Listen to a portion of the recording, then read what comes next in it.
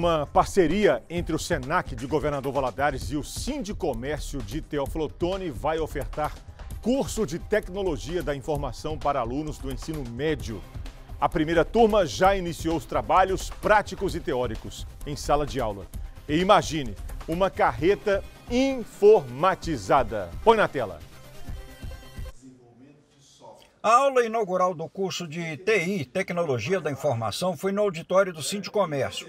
A parceria da instituição com o SENAC de Governador Valadares resultou no ensino que vai atender às necessidades de qualificação de mão de obra para o mercado de trabalho. O Minas Tech é um projeto que iniciou aqui no Sindicomércio, nós levamos ele até a Federação do Comércio, consequentemente o SENAC abraçou né, o projeto e está iniciando hoje em Teoflotone. E esse programa ele é voltado para os jovens que têm uma vocação né, para programação, para inovação.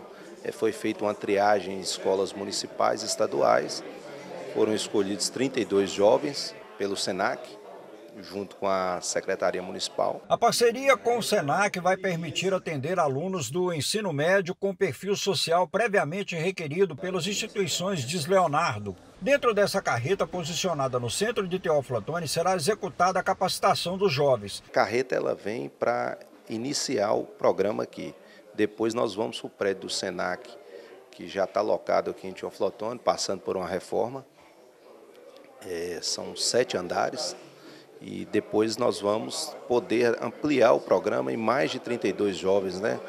Com a questão do prédio. A carreta só cabe 16 pessoas por, por turno, por isso que nós iniciamos com 32.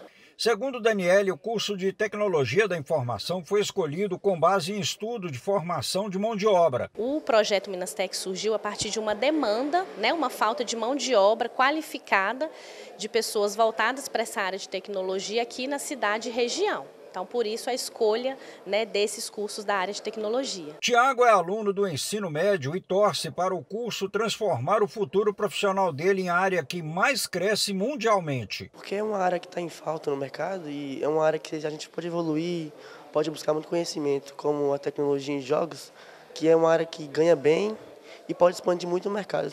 A primeira turma do curso tem 32 alunos que foram escolhidos em escolas públicas de ensino médio em Teófilo Otoni. Eles vão assistir aulas ou de manhã ou à tarde durante três meses e meio. E ao final da capacitação, o Sindicomércio e o Senac vão fazer a interface com o mercado de trabalho. Nós vamos comunicar ao mercado, informar que nós estamos formando aí dentro desse período 32 né, é, jovens e que já podem também já começar a buscar né, essa, essa, essa oportunidade, um primeiro emprego dentro dessa área.